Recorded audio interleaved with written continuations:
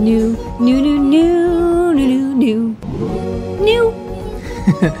Okay, um, before we dive into the new products, don't forget we have a new newsletter called New New News from Main oh yeah, it's a weekly newsletter, and uh, we were asked for this. Uh, folks wanted to know when new products dropped, so uh, we do this every week now. And it's very difficult to sign up for because we don't spam anyone. Yeah. So you have to log into your account. You have to do a bunch You of stuff. You have to do work to log sign Yeah. up, but that way you know you signed up. Yeah, and you will not get automatically signed up at all. we don't do that. And, we, No. and we don't put a big thing on the site that No. says like buy something. Actually, you know what my f- least favorite thing in the universe is? What? It's not just that, it's when you go to a site and then like 10 seconds later they pop up. So you're like clicking on something to scroll and it like, Yeah. and then the X box is like the smallest Yeah. possible particle known to man. Yeah. So we use our site a lot, and uh, I don't want that. we like each other here, and we like all of you. So we won't do that. Just pick up some kits once in a while. Okay, good deal. Let's do this. Let's do this thing. First product. First product is a microbit. We've already stocked the microbit, so you're probably wondering, wait, I've seen this before, but uh, you're not being fooled. There are two microbits. This microbit is just the individual. It does not come with any batteries. It doesn't come with a battery case. It doesn't come with a USB cable. It's just the microbit, but it's a little less money. So if you're like, hey, I really just want the minimum because I want to get a lot of them, or maybe you already have battery packs and USB cables. This is just the individual microbit. Yeah. It comes in a cute little bag and it comes in a box. It's got the instructions. You provide your own USB cable. Hey, chances are you've already got one kicking around. Yeah. And uh, microbit, for those who aren't familiar, it's a it's a the BBC microbit designed in England uh, for teaching electronics. It's got a Bluetooth radio. It's got 25 LEDs and two buttons and alligator clips. It's basically a way to learn how to program Under 20 bucks. for under under fifteen dollars for this. Yeah. Um, it's got everything you could possibly want to build a lot of really cool projects. Check out microbit.org. I think is the Mm-hmm. URL. Has a lot of projects. You can use MakeCode. You can use MicroPython. You can use Yeah. mbed. It's uh, quite powerful. Don't need to download any software. Nope. Can use a browser. It's pretty So, sweet. yeah. So uh, I think of it as a perfect companion to Circuit Playground Express. I think a lot of teachers People have a lot of choices now. parents can start with this Yeah. and then upgrade. Microbit, Circuit Playground, Metros, Feathers, Mm-hmm. Raspberry Pi. It's an excellent time to be a maker. That's right. Okay. There's never been a better time. Right. So that's the uh, individual microbit. Okay, next up. Um, for the folks who missed out on AdaBox, you can get one. We have these in the store. AdaBox 003. Yeah, the standalone AdaBox. Brought to you uh, in partnership with DigiKey. Mm-hmm. Di- DigiKey helped out with this one. Um, for example, they provided that really cool ruler.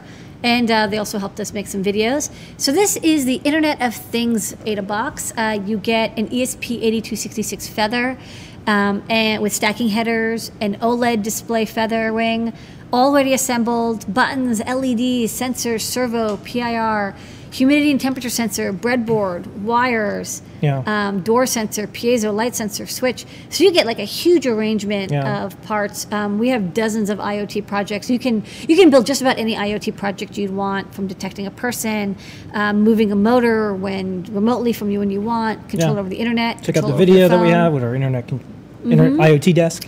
And um, Todd Treece wrote a bunch of beginner tutorials for people Yeah. uh, that, that goes along with this box and very easy to get going. So you get a Wi-Fi microcontroller and everything. Uh, it doesn't come with the LiPo battery and it doesn't come with the collectible pin Yeah. and a couple other things. So this is not all that you get with AdaBox. If you had signed up for AdaBox, you would have gotten this plus some even more stuff plus free shipping. Yeah. It would have been a really great deal. Uh, I would suggest signing up for AdaBox Yeah. because I think the next few are going to be even better. They're always going to get better. They're always going to get better, Better and more. and more. Okay. Um, but you can always pick up one of these if you missed it. Okay. Next up. Woo! Mag hand. Mag hand. Mag hand. Okay, what's going on here? So this is a magnetic hand. Um, I'll show this on the overhead because there's like actually kind of a lot going on here. This is a magnetic base, and it's got these two cooling tube um, alligator clips on it. And so it's basically when you want a helping hand.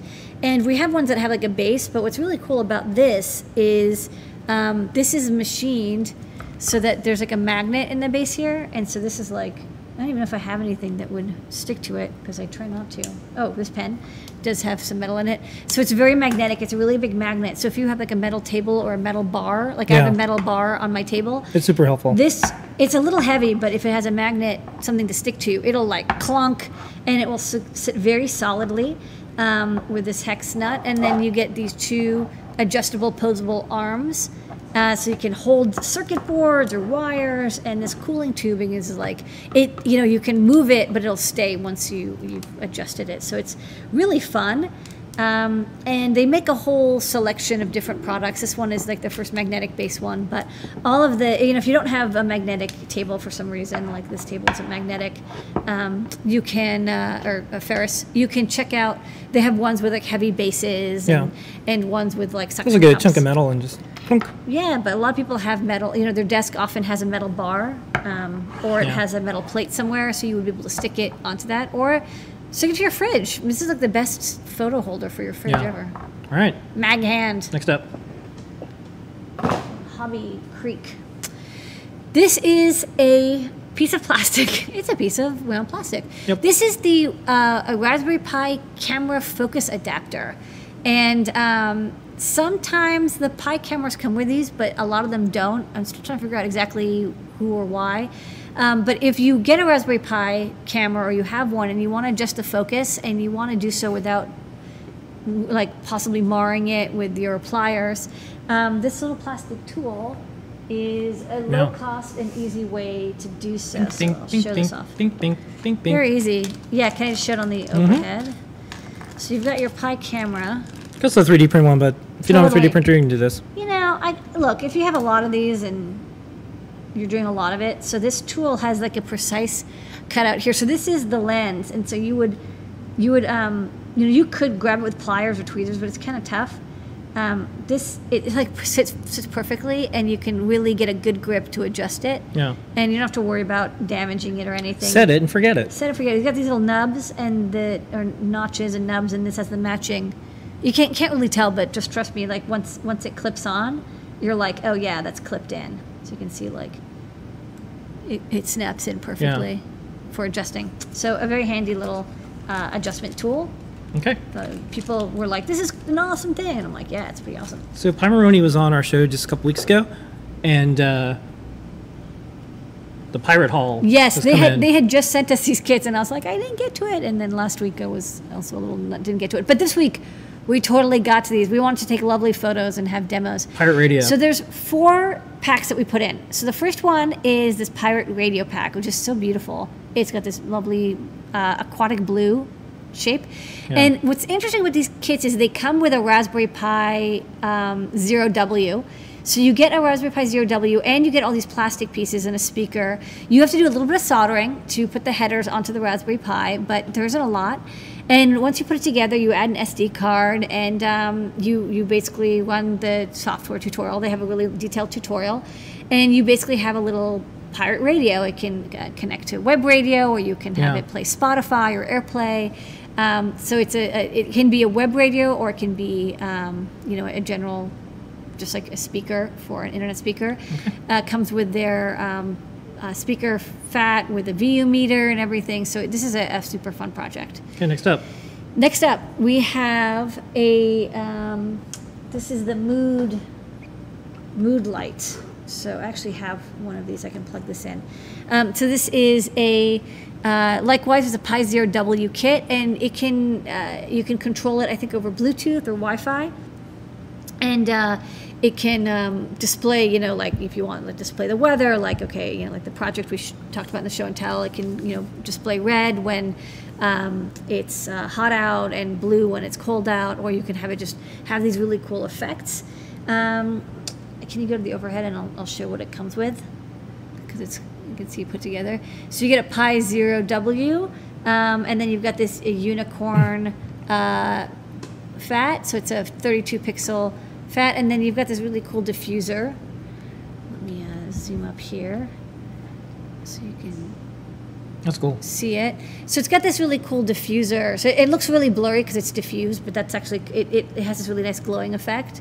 Um, it glows from the back, and it's all plastic. You put it together, and um, likewise, you can use hammer headers, or you can solder the headers on, uh, whichever one you like, and then um, you get this really cool mood light that you can program and customize however you like. So it's a Yeah. lovely little plastic kit. I like this project because it's something that you can put where people are, Yeah. and they'll be like, "Oh, like where did you buy that?" Like, no, I, I made it. But it's got this nice frosted Yeah. plastic. So that's the second kit. Okay, there's more.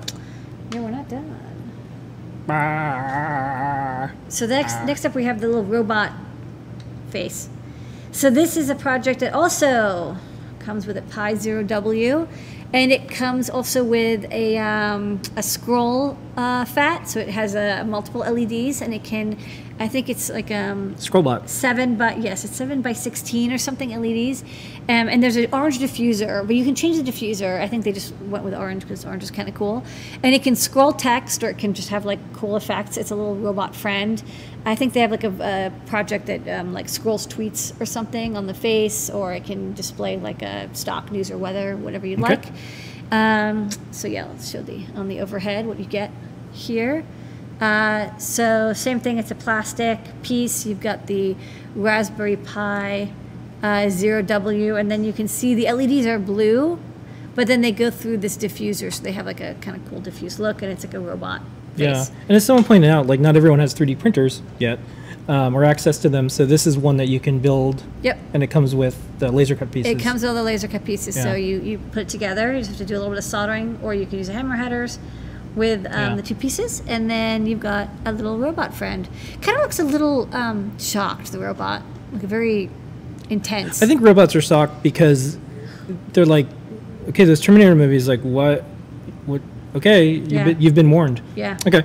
Okay, so this is yeah, this is I think the one with the diffuse diffusible pixels. I think they showed this this um, demo last week. So Yeah. yeah. it's got it can scroll text and stuff right now. It's just doing a cool graphics Okay. display. Next up, Okay, so we'll unplug this. there's more.